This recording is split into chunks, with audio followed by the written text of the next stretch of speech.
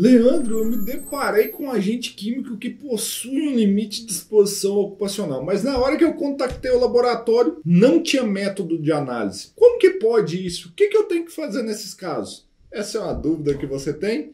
Então acompanhe esse vídeo até o final.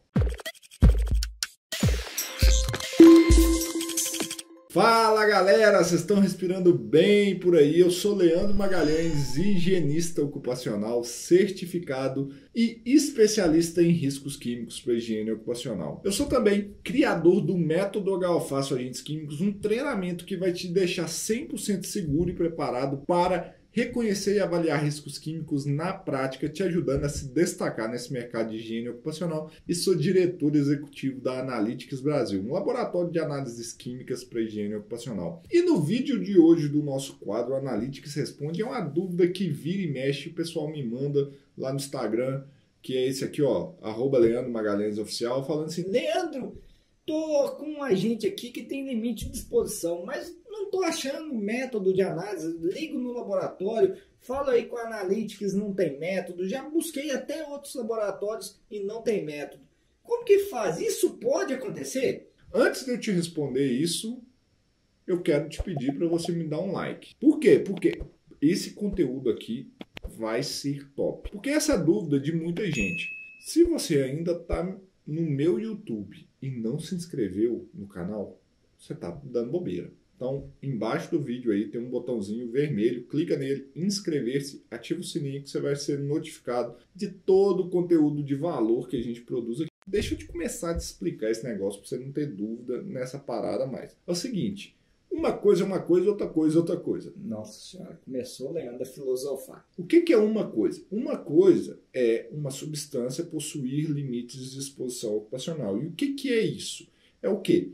Um corpo de cientistas, toxicologistas, estudaram as propriedades toxicológicas daquelas substâncias e averiguaram por diferentes modelos. Eu não vou entrar aqui muito profundamente em toxicologia, não, mas existem N modelos de estimativa de limites de exposição ocupacional. Existem desde as modelagens matemáticas, desde digressões de estudos em animais, até estudos epidemiológicos.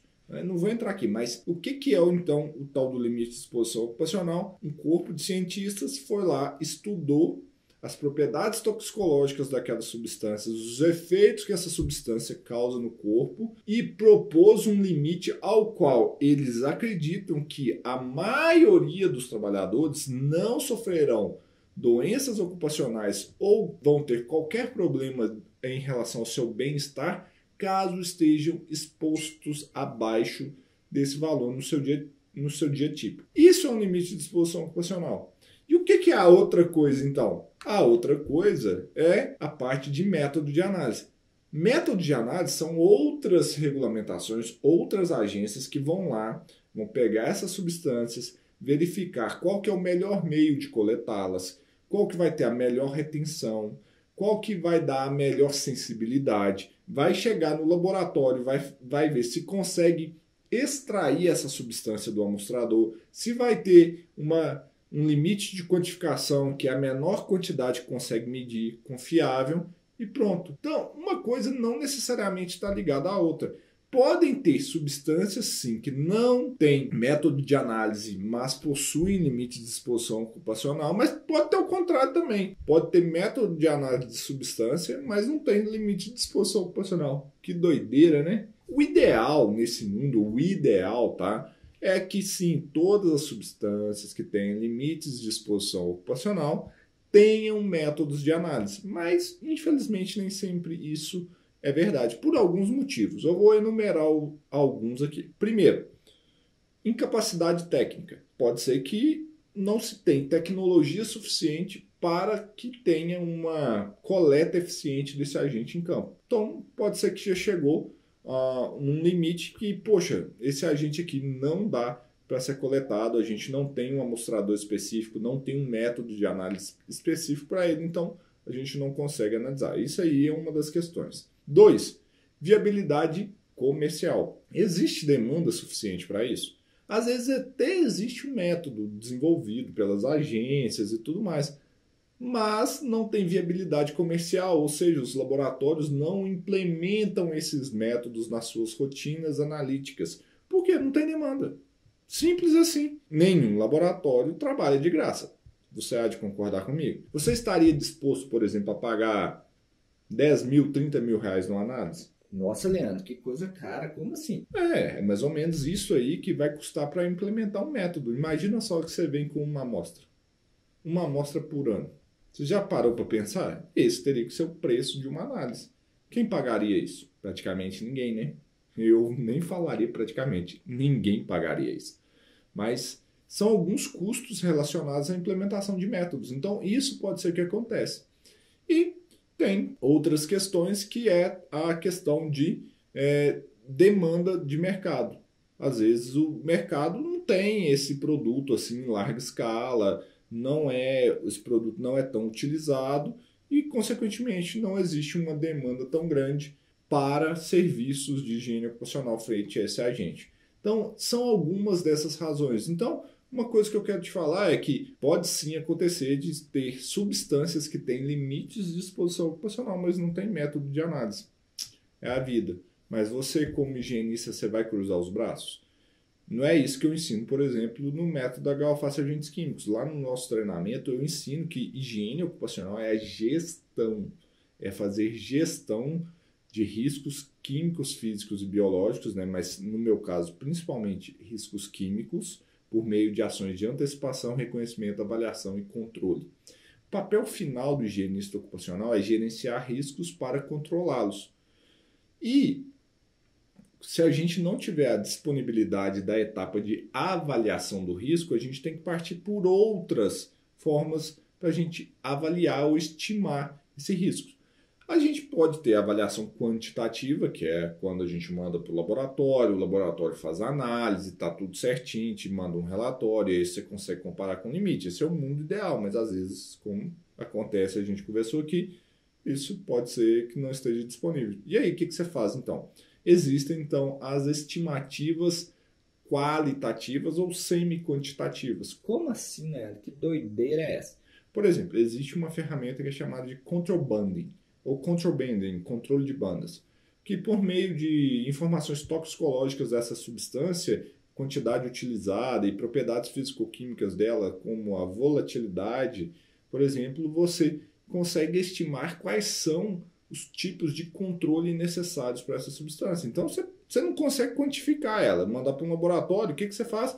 Poxa, deixa eu ver o control banding aqui, ver quais os tipos de EPCs que eu tenho que utilizar. Eu vou lá no meu anexo 5 do PPR e vejo qual tipo de proteção respiratória que eu tenho que usar e por aí vai. Essa é uma das maneiras muito viáveis de se estimar essa exposição e já implementar controles. Isso é uma forma muito válida. Outra forma é, por exemplo, você fazer estimativa por modelagem matemática. Isso hoje em dia é muito comum. Na AIA existem cursos, livros, materiais diversos que você pode utilizar nesse tipo de modelagem matemática. Então, o higienista ocupacional nunca fica refém só de avaliação. E quem está no método da Galface Agentes Químicos sabe disso, né? Que quando entra no treinamento eu faço uma lavagem cerebral e falo assim, ó, esquece. Se você quer ser valorizado, se você quer ser uma referência, se você quer se destacar nessa carreira, o que você tem que focar não é em avaliação, e sim em gestão. A avaliação é uma das etapas, e geralmente a etapa que gera menos resultado, que dá menos projeção, porque ela é entendida como gasto. Então a gente tem várias eh, dessas formas que eu estou falando para você aqui que você pode atuar com gestão.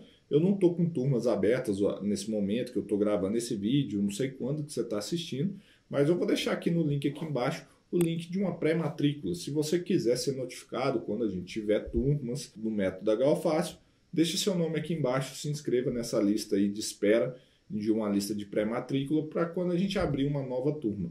Por quê? Higiene ocupacional não é medir, medir, medir, é gerir, no caso de agentes químicos, gerir ou fazer gestão de agentes químicos por meio de antecipação, reconhecimento, avaliação e controle para a gente evitar doenças ocupacionais ou agentes que podem causar um mal-estar nos trabalhadores. Então, para se destacar, você tem que ir além da avaliação. Não fique refém da avaliação dos agentes químicos. Eu espero que sim que você tenha gostado desse vídeo. Se você tiver gostado, deixa seu like aqui para mim. Aperta essa mãozinha aí, ó, não marra não. Aperta essa mãozinha aqui que custa, não vai doer não. Isso vai me ajudar muito em troca desse todo conhecimento que eu fiz aqui com vocês. Se você está vendo em outra rede social aí, aperta o coraçãozinho, que, é, também vai ajudar. E se você está vendo no YouTube, se inscreva nesse canal. Nós temos conteúdos aqui semanais que vão te ajudar muito a dominar os agentes químicos e se destacar na higiene ocupacional. Eu espero que você tenha realmente gostado desse vídeo. Um grande abraço e até o próximo.